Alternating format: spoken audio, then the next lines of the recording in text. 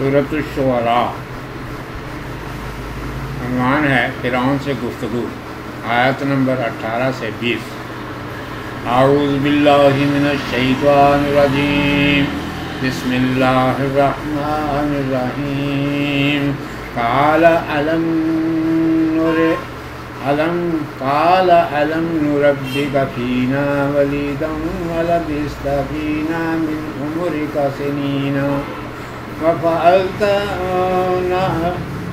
وفعلت فعلتك التي فعلت وأنت من الكافرين قال فعلتها أيضا وأنا من الضالين.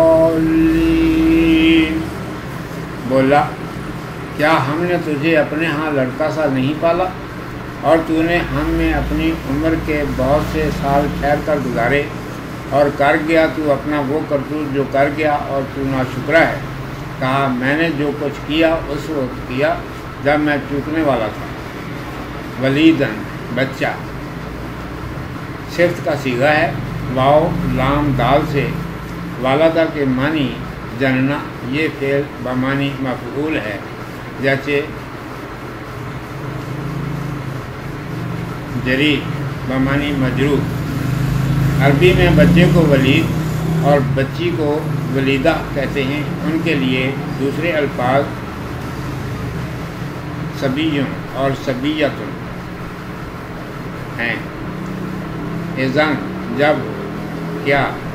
ایز کے معنی جب کے ہیں۔ مضاف علیہ کو حذف کر کے اس کی جگہ اس پر تنوین منصوب آ جاتی ہے۔ کافرین ناشکر گزار۔ کافر کی جمع ہے، جو کفر سے اسم فائل ہے۔ کفر کے اصلی معنی ناشکر گزاری کے ہیں۔ اسی معنی میں یہاں مستعمل ہے، کیونکہ فرعون اللہ تبارک و تعالیٰ کا قائل نہ تھا۔ ارشاد ہے کہ حضرت موسیٰ علیہ السلام اللہ تعالیٰ کا پیغام لے کر فرعون کے پاس پہنچے۔ یہ پیغام انہیں وادی ایمن میں مدین سے واپس آتے ہوئے آتے وقت ملا تھا۔ اس کا ذکر پہلے صورت واحہ میں آ چکا ہے اور آگے بھی آئے گا۔ مصر میں پہنچ کر اپنے بھائی ہارون علیہ السلام کو ساتھ لیا اور فرعون کے پاس پہنچے اور اللہ سبحانہ و تعالیٰ کا پیغام اسے سنایا۔ فرعون نے انہیں دیکھتے ہی پہچان لیا کیونکہ حضرت موسیٰ علیہ السلام اس کے گھر میں پلے تھے اور بولا، تو وہی نہیں جسے ہم نے بچہ سا اپنے گھر میں پالا، تو نے تو اپنے بچپن کی عمر سال ہا سال تک ہمیں میں گزاری۔ پھر تو نے ایک ایسا کام کیا جو نہ کرنا چاہیے تھا۔ یعنی ہمارے ایک آدمی کو مار کر بھاگ گیا۔ تیرا نام تو نا شکر گزاروں میں ہے، کیونکہ تو نے ہمیں، ہمارے احسان کا بدلہ یہ دیا۔ حضرت موسیٰ علیہ السلام نے کہا، بے شک میرے ہاتھ سے ایک کپتی مارا گیا، لیکن یہ کام تو نادانستگی میں ہوا۔ میں نے تو اسے ٹھیک کرنے کے لیے ایک مکہ مارا تھا۔ مجھے کیا خبر تھی کہ ایک مکے میں اس کا دام ہی نکل جائے گا؟ اس میں شکر اور ناشکری کا کیا سوال ہے؟ انسان سے بھول چوک میں جانے کیا کیا ہو جاتا ہے؟ شاید مکہ مارنا مناسب نہ تھا، لیکن میں نے غلطی سے یہ سمجھ کر کہ اس کے بیجا کام کی برائی اس کی سمجھ میں اس طرح اچھی آ جائے گی۔ ایسا کیا اور میں اپنی غلطی کا اعتراف کرتا ہوں۔ موسیٰ علیہ السلام کا جواب، ففررت منکم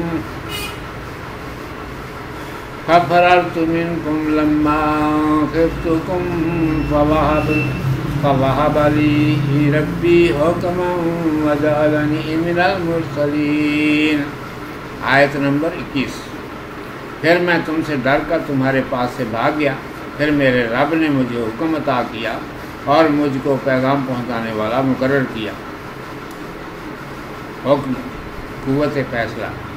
انسان میں فیصلے کی قوت جب ظاہر ہوتی ہے، جب اسے معاملہ فہمی اور حقیقت شناسی کا ملکہ حاصل ہو جائے۔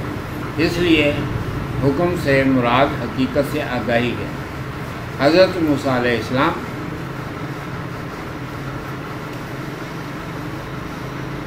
حضرت موسیٰ علیہ السلام فرعون سے فرما رہے ہیں کہ تیرے ظلم و ستم سے جو تو نے بنی اسرائیل پر توڑ رکھا تھا میں اچھی طرح واقف تھا، میں جانتا تھا کہ تو اپنے دور میں محبوط ہے اور اس معاملے کی اچھی طرح چھان بین کر کے میرا عذر قبول نہ کرے گا اور اندھا دھند فیصلہ صادر کر کے مجھے قتل کرا دے گا۔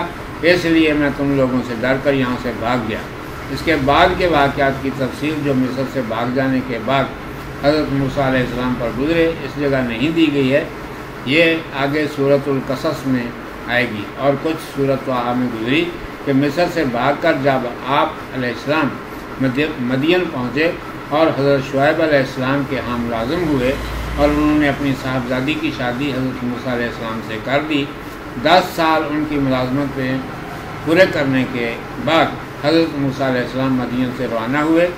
راستے میں وادی ایمن سے گزر رہے تھے کہ سامنے پہاڑ پر ایک روشنی دیکھی اور آگ لینے وہاں گئے اور بجائے آگ کے پیغمبری مل گئی۔ یہاں سے حضرت موسیٰ علیہ السلام کے جواب کا سلسلہ، جو اس آیت میں مزدور ہے، پھر جاری ہوتا ہے۔ آپ علیہ السلام نے فرمایا کہ یہاں سے بھاگ جانے کے کچھ دن بعد اللہ سبحانہ ہوا تعالیٰ نے مجھے دانش مندی اور حکمت عطا فرمائی اور اپنے رسولوں علیہ السلام کے سلسلے میں جو دنیا کے اندر اس کا پیغام اس کے بندوں کو پہنچانے آئے، مجھے بھی شامل کیا اور میرے بھائی کو بھی۔ اس سلسلے میں میرے ساتھ جوڑ دیا۔ اس میرے بھائی کو بھی اس سلسلے میں میرے ساتھ جوڑ دیا۔ چنانچہ ہم دونوں اس کے حکم سے تیرے پاس آئے ہیں۔ اب تو اس رب العالمین کو اپنا رب مان، ظلم و ستم سے ہاتھ اٹھا اور بنی اسرائیل کو آزاد کر کہ میں انہیں لے جا کر ان کے آبائی وطن میں امن و امان کے ساتھ بساؤں اور اللہ تعالیٰ کے حکم کے مطابق ان کی تنظیم کروں۔ بقیہ جواب، آیت نمبر بائیس سے چوبیس۔ وطل کا نعمت تمنها علی ان عبدت عن عبدت بنی اسرائیل قال فرعون وما رب العالمین قال رب السماوات والارض وما بينهما ان كنتم موقنين. اور کیا وہ احسان ہے جو تو مجھ پر رکھتا ہے؟ کہ تو نے بنی اسرائیل کو غلام بنایا۔ فرعون بولا، اور کیا مانی؟ رب العالم اور کیا مانی؟ رب العالمین رکھتا ہے۔ کہا پروردگار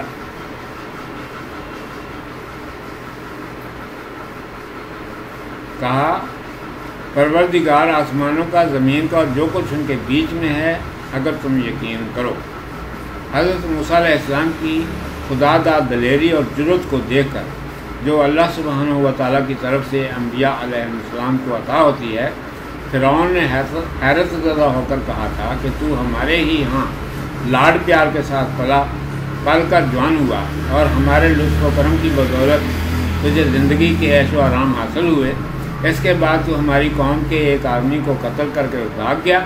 نہ اس کا خیال کیا کہ ہم تیرے مربی ہیں اور نہ کچھ ہماری قوم اور اپنی قوم کے درمیان فرق مراتب کا لحاظ کیا۔ اس کے جواب میں حضرت موسیٰ علیہ السلام نے پہلے تو کہا کہ میں نے اسے جان بوجھ کر قتل کے ارادے سے مکہ نہیں مارا تھا، اتفاقاً وہ ایک مکے ہی سے مر گیا۔ یہ عمل مجھ سے تو بلا ارادہ سرزد ہوا، مگر تو نے تو مدتوں سے بنی اسرائیل کو غلام بنا رکھا ہے اور بیگار میں ان سے کام لیتا ہے اور ان کے لڑکوں کو قتل کر دیتا ہے۔ یہ سب تو تو جان بوجھ کر ارادہ اور اختیار کے ساتھ کر رہا ہے۔ کیا اس حالت میں میری پرورش کا احسان جتانا تجھے زیب دیتا ہے؟ یہ بھی تیرے عام ظلم و ستم کا نتیجہ تھا کہ میری ماں نے صندوق میں رکھ کر مجھے دریا میں بہا دیا۔ اس ڈر سے کہ تو مجھے بھی اور بنی اسرائیل کے بچوں کی طرح قتل نہ کر ڈالے اور میں بہتا بہتا تیرے محل میں پہنچ گیا اور تیری بیوی کو مجھ پر پیار آیا اور تو نے ہار کر میری پرورش کی اجازت دی۔ ورنہ یقیناً میں بھی بنی اسرائیل کے اور بچوں کی طرف قتل کر دیا جاتا اس لیے یہ پرورش کا احسان جو تو مجھ پر جتاتا ہے، کوئی احسان نہیں ہے۔ تو ایسا کرنے پر مجبور تھا۔ اس کے مقابلے میں بنی اسرائیل پر تیرا ظلم و ستم تیرے اپنے عزم اور ارادے کے ساتھ تھا۔ اور یقیناً تو اس کے لیے قابل ملامت ہے۔ فرعون کا مکراپن حضرت موسیٰ علیہ السلام کا معقول اور مدلل جواب سن کر فرعون بغلیں جھانکنے لگا۔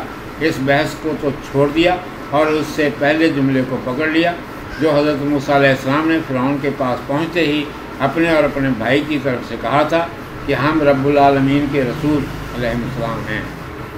فرعون کو اپنے ملک اور دولت پر مغرور ہو کر اس کا موقع مل گیا تھا کہ خود رب ہونے کا دعویٰ کر بیٹھا تھا۔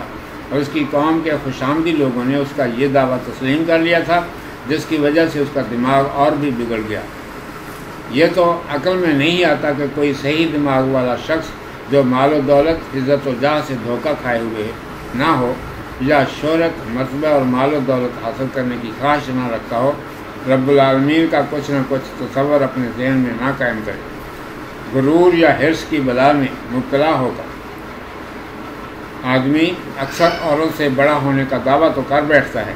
ہیرو مرشد، پیشوا بن بیٹھنے کے علاوہ نبوت تک کا جھوٹا دعویٰ لوگوں نے کیا ہے، لیکن خدائی کا دعویٰ کرنے کی ہمت سوائے چند سر پھرے لوگوں کے کسی کو نہیں ہوئی۔ مصر کا فرعون بھی انہی سر پھرے لوگوں میں سے تھا۔ وہ بادشاہ تو باپ دادا کے وقت ہی سے چلا آ رہا تھا، کیونکہ سارا ملک اس کے قبضے میں تھا۔ دولت کی فراوانی تھی۔ مال و دولت چاروں طرف سے ٹوٹی پڑ رہی تھی۔ جبکہ ایسے لوگوں کی طرف، ایسے لوگوں کو طرف داروں کا ملنا کیا مشکل ہے؟ خوش آمدیوں نے اسے بانس پر چڑھا دیا۔ اس نے کہا، میں تمہارا رب ہوں۔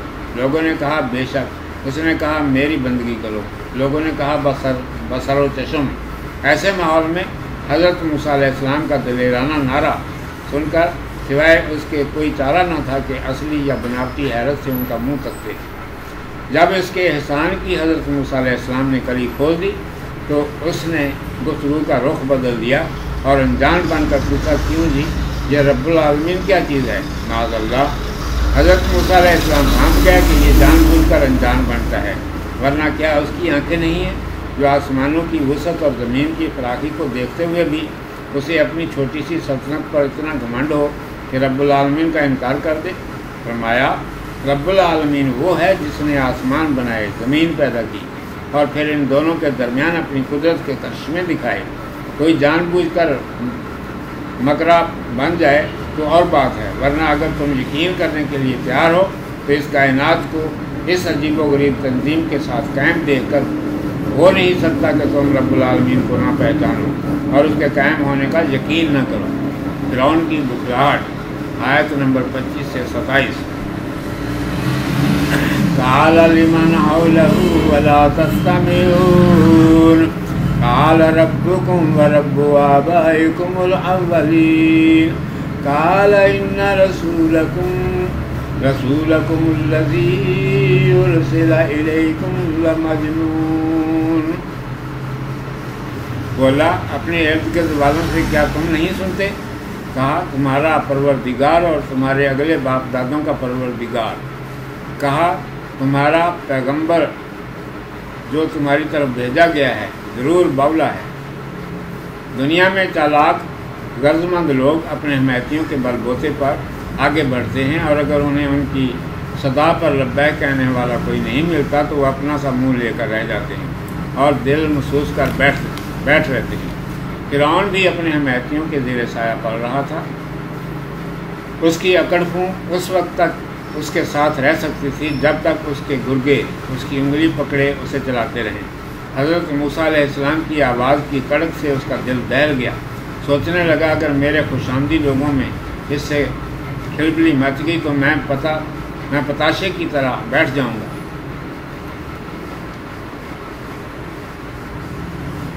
حضرت موسیٰ علیہ السلام نے جو للکار کر کہا کہ وہ نادان، رب العالمین، وہی ہے جس نے یہ آسمان، زمین اور ان کے درمیان کی ساری کائنات بنائی، تو اس کے پاؤں تلے کی زمین نکل گئی، تو اس کے پاؤں تلے کی زمین نکل گئی۔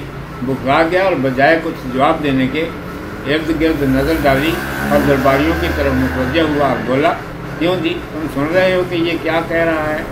اتنے میں حضرت موسیٰ علیہ السلام نے للکارا کہ، یہی رب العالمین تمہارا اور تمہارے باپ دادوں کا رب ہے۔ فرعون کی بے چینی پر یہ ایک اور تازیانہ ہوا۔ وہ چلایا لوگوں ضرور یہ رسول ہونے کا دعوے دار جو کہتا ہے کہ مجھے رب العالمین نے تمہاری طرف اپنا پیغام پیغمبر بنا کر بھیجا ہے، عقل سے کورا ہے، کیونکہ معاذ اللہ تمہارا رب تو میں ہوں، یہ کون سا رب نکلا ہے؟ جس نے اسے پیغام دے کر ہماری طرف بھیجا ہے۔ سچ ہے، اونچے درجے کے لوگ ہمیشہ اس فکر میں رہتے ہیں کہ کسی طرح ہمارے طرفدار ہمارے بنے رہیں، ورنہ ہماری خیریت نہیں۔ فیصلہ کن جواب؟ آیات نمبر اٹھائیس سے تیس۔ قال رب المشرق والمغرب وما بينهما إن كنتم تأكلون قال لئن اتخذت إلها غيري لأجعلنك من المسجونين قال أولو جئتك بشيء مبين کہا پروردگار مشرق اور مغرب کا، اور جو کچھ اس کے بیچ میں ہے۔ اگر تم سمجھ سکتے ہو، کہا، اگر تو نے میرے سوا کوئی اور حاکم ٹھہرایا، تو ضرور تجھے قید میں ڈالوں گا۔ کہا، اگر میں تیرے پاس ایک سری دلیل لے کر آیا ہوں۔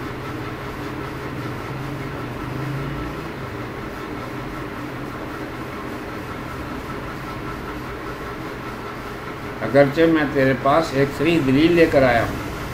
موسیٰ علیہ السلام نے بھی موقع دیکھ کر رب العالمین کی ایک اور زبردست خصوصیت پیش کی اور فرعون سے کہا کہ تیرے پاس تو فقط مصر ہی کا ملک ہے، جو روئے زمین کی وسعت کے مقابلے میں کوئی حیثیت ہی نہیں رکھتا۔ میں تو اس شہنشاہ مطلق کا بھیجا ہوا آیا ہوں، جس کی سلطنت سارے آسمانوں پر، ساری زمین پر، مشرق سے لے کر مغرب تک پھیلی ہوئی ہے۔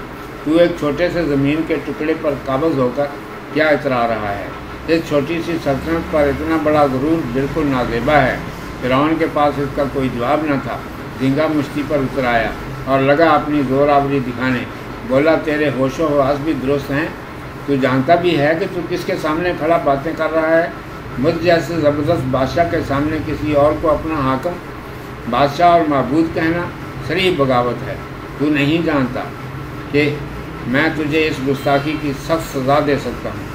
اور یقیناً اگر تو ان باتوں سے باز نہ آیا تو تجھے اور بہت سے قیدیوں کے ساتھ قید خانے میں ڈال کر رہوں گا۔ قید خانے میں ڈال کر رہوں گا۔